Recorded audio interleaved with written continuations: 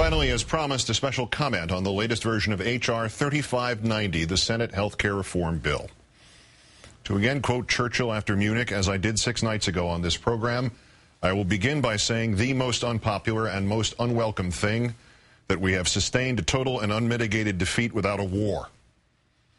Last night on this program, Howard Dean said that with the appeasement of Mr. Lieberman of Connecticut by the abandonment of the Medicare buy-in, he could no longer support H.R. 3590.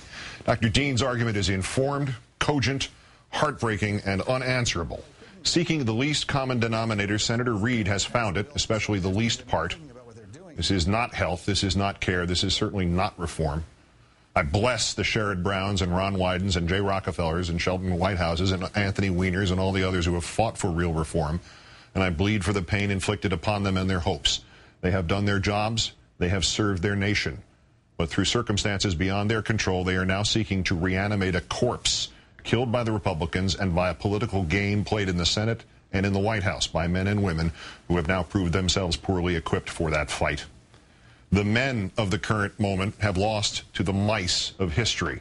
They must now not make the defeat worse by passing a hollow shell of a bill just for the sake of a big stage signing ceremony. This bill slowly bled to death by the political equivalent of the leeches that were once thought state-of-the-art medicine is now little more than a series of microscopically minor tweaks of a system which is the real-life, here-and-now version of the malarkey of the town haulers.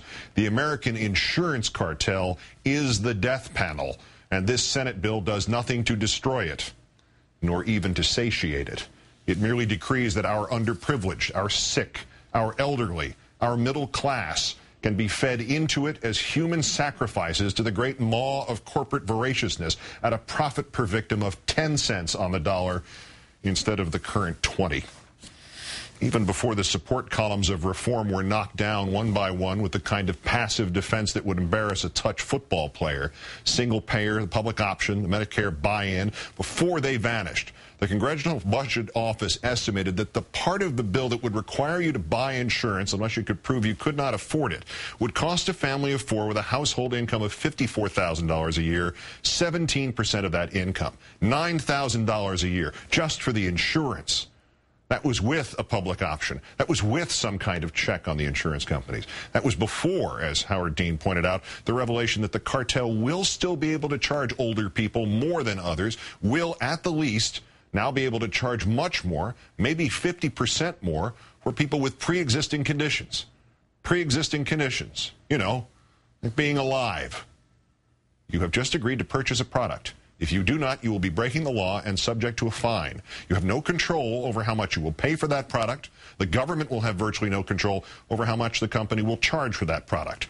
The product is designed like the Monty Python sketch about the insurance company's never pay policy, which, you know, if you never claim is very worthwhile.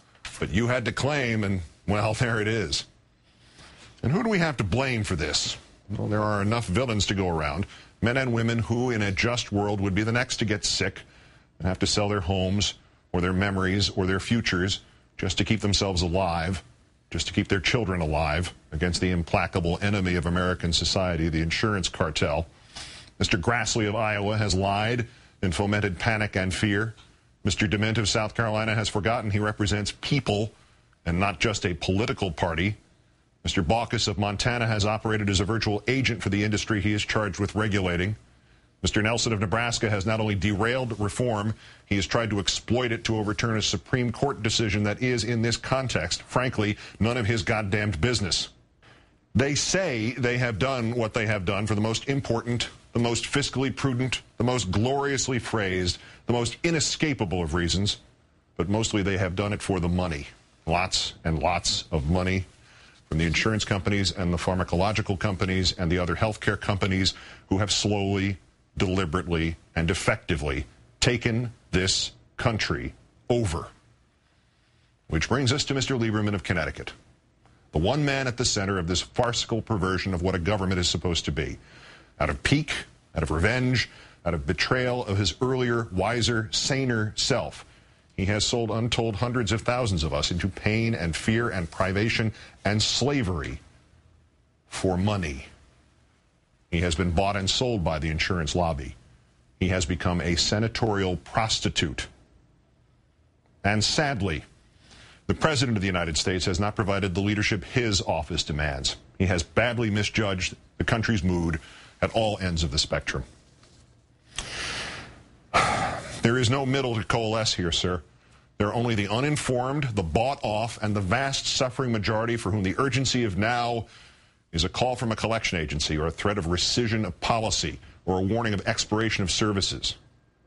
Sir, your hands-off approach, while nobly intended and perhaps yet someday applicable to the reality of an improved version of our nation, enabled the national humiliation that was the town halls and the insufferable Neanderthalian stupidity of Congressman Wilson and the street walking of Mr. Lieberman.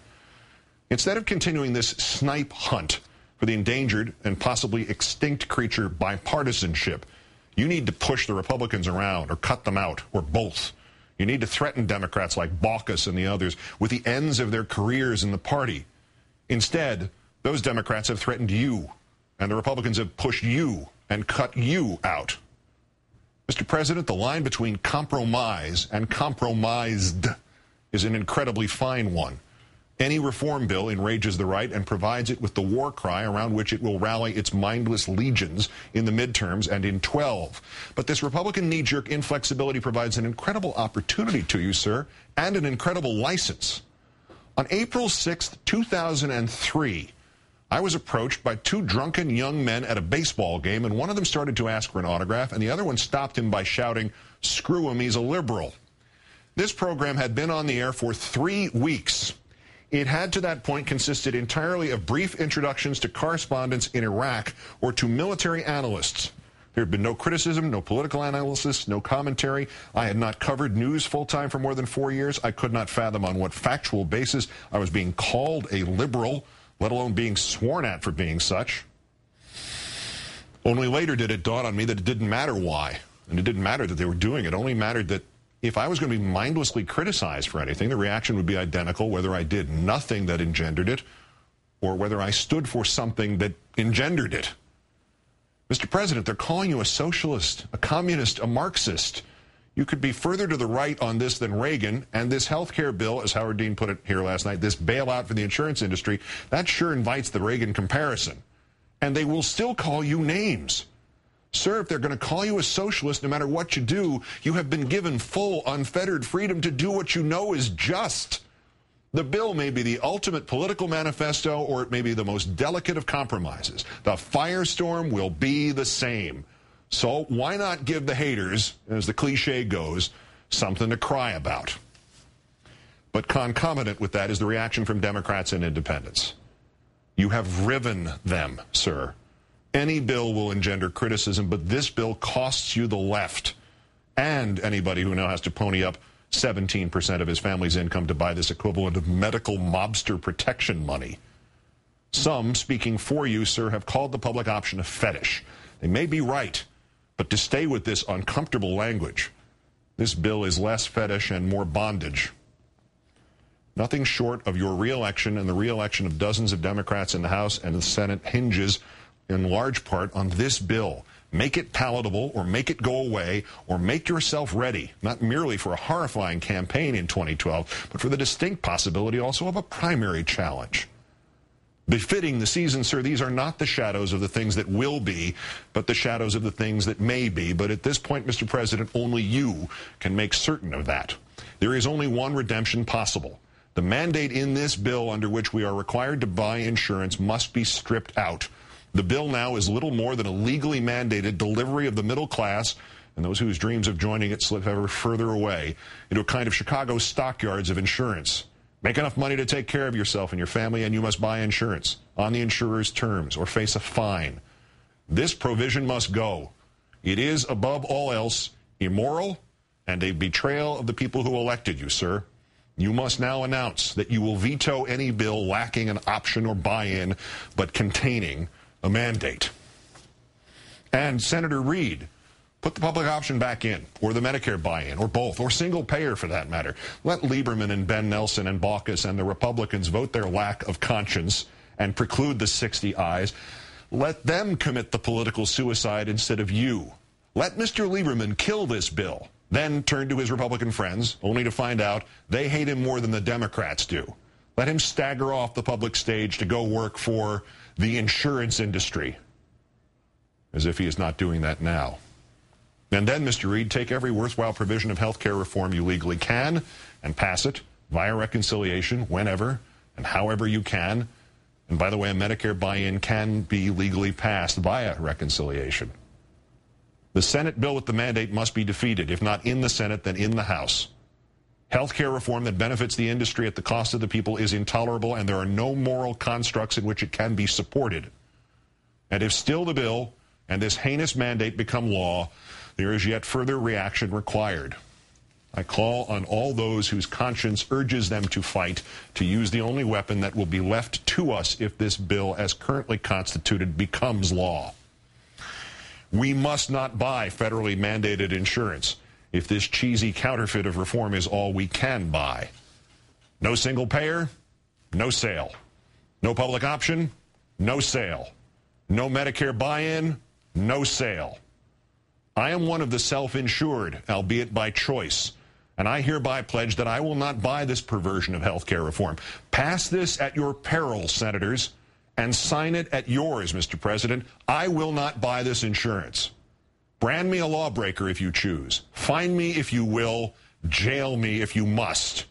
But if the Medicare buy-in goes, but the mandate stays, the people who fought so hard and so sincerely to bring sanity to this system must kill this mutated, ugly version of their dream because those elected by us to act for us have forgotten what must be the golden rule of health care reform.